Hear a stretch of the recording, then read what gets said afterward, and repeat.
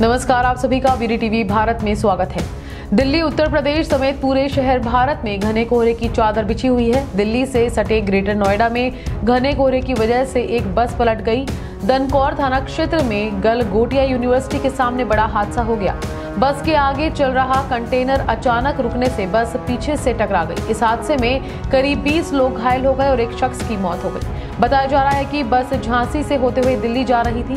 Galgotia university के सामने जैसे ही बस पहुँची तो आगे चल रहा कंटेनर अचानक से रुक गया। इस वजह से बस पीछे से टकरा गई और पलटकर करीब 20 फीट नीचे जा गिरी।